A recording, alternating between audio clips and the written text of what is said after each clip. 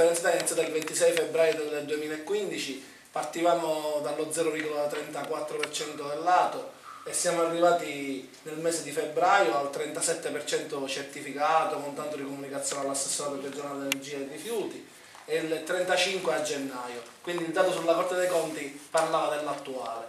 L'anno scorso abbiamo chiuso su scala annuale, abbiamo fatto il 20%, però dobbiamo tenere conto che a gennaio e febbraio non abbiamo fatto la raccolta differenziata. Abbiamo avuto punti di 40% a maggio, dati reali, qua c'è tutta la tabella che ancora non abbiamo pubblicato con l'architetto Menafra perché pensiamo di pubblicare anche i costi, che è la cosa più importante. E poi aspetto al varco, e qui senza polemica, tutti gli altri comuni che dopo di noi hanno attivato la raccolta differenziata come Carini, Terrai Carini, Balestrate, Giardinello, Montelepre, ultimamente anche Cinisi, per vedere a consuntivo quanto risparmieranno. Noi qua i dati ce li abbiamo e sono inconfutabili.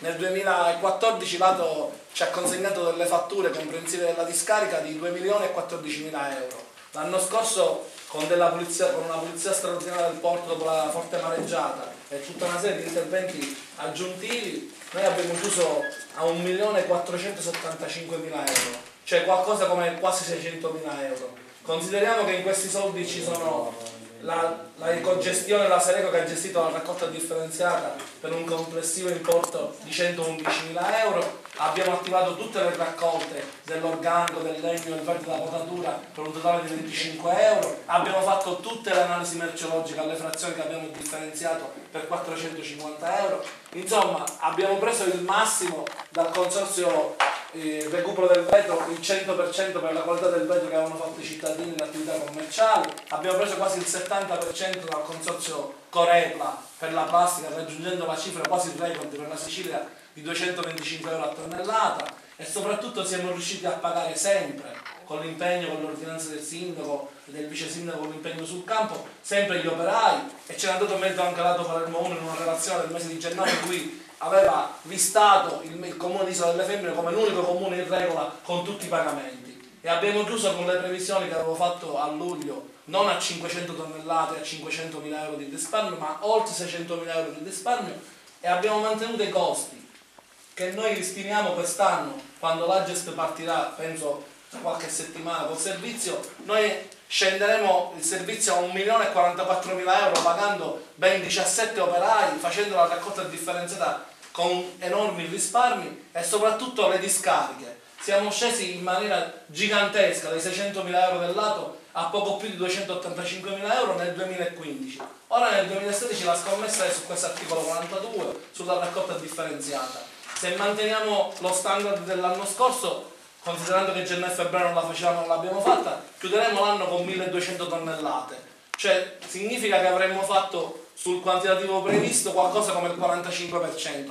La mia previsione, la nostra previsione, il nostro augurio è che l'isola ecologica, l'articolo 42, la scontistica ci consente di fare quel salto di qualità e fare il 65% sicuramente, perché se noi abbiamo finora oltre 400 adesioni a più differenze meno tali, sì è partito l'11 novembre, ma è una diffusione diciamo continua da parte dei cittadini che vanno all'isola ecologica. Noi non abbiamo organizzato niente con Repubblica, che ne dica il consiglio di Caltanissetta, è venuta pure un orario vicino a mezzogiorno alla chiusura e venivano le persone a pesare la plastica, l'organico. Cioè noi abbiamo fatto un esperimento dall'11 novembre al 31 dicembre e non possiamo garantire sconti a nessuno, ma adesso c'è un impegno e qui non facciamo copiato da Zafferanettinea che tutti citano per avere enormi risparmi L'anno scorso, quest'anno, a fine anno 2015, hanno rimborsato la Tari di tre anni prima. Noi parliamo di un progetto dove dopo nove mesi gli rimborsiamo la Tari dell'anno precedente. Parliamo di cose in tempo reale, non parliamo di Trapani che è attestata al 15% e fa uno sconto dal 20 al 40% se vai a pesare e quindi non è al nostro 35%. Non parliamo di tante altre realtà come Alcamo che ha avuto modo di conoscere da, profondamente come funziona il servizio, fanno il 49%, fanno un progetto dopo 10 anni di raccolta differenziata e mettono 80.000 euro di montepremi per il risparmio e dopo due anni redistribuiscono 40.000 euro. Qua l'amministrazione sta prendendo un impegno, se noi facciamo il 65%, non è che il comune risparmia una cifra di 200.000 euro, risparmierà molto di più, perché soltanto l'ecotassa inciderà 12 euro a tonnellata in meno se non lo facciamo.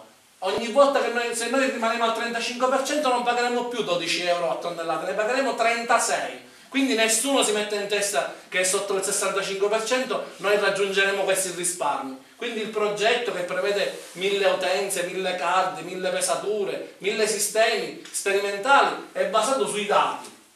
Noi l'anno scorso abbiamo chiuso in maniera incredibile l'organico partendo da 0 a 220 tonnellate. Abbiamo fatto una media di circa 11-15 tonnellate, attualmente siamo a 26. Da una settimana, anzi da due settimane, abbiamo attivato un servizio dedicato dalle 12 alle 18, da mercoledì a lunedì, cioè significa domenica compreso per tutti i ristoranti e le attività commerciali. E già siamo a quasi una tonnellata in più a settimana di organico. L'obiettivo principale è quello di portare avanti un sistema più differenze meno tali. Io ho concluso il mio intervento, nell'articolo 42 c'è la somma regolamento, del regolamento della città di Ferrara, della città di Bologna per quanto riguarda le agevolazioni per i cittadini di Zafferana e Tenea per quanto riguarda le percentuali, ma noi siamo andati oltre. L'amministrazione a casa sta prendendo un impegno con tutti i cittadini. O differenzi e ti facciamo uno sconto verrai penalizzato. Non è pensabile che noi domani togliamo i cassonetti, perché io ad Alcamo ci sono state, vi assicuro che ci sono anche l'abbandono selvaggio dei sacchetti. In una fase successiva li potremmo anche togliere, ma il risparmio totale si fa se la gente responsabilizzata. Io penso che sia una svolta storica perché questo articolo 42 insieme al compostaggio domestico al 50% dove il 50% esiste soltanto nei comuni del Veneto in alcune realtà noi siamo andati oltre ho fatto una stima sul compostaggio domestico questo avanti no, no, questo, questo, questo, ho concluso bravo oh. vabbè allora il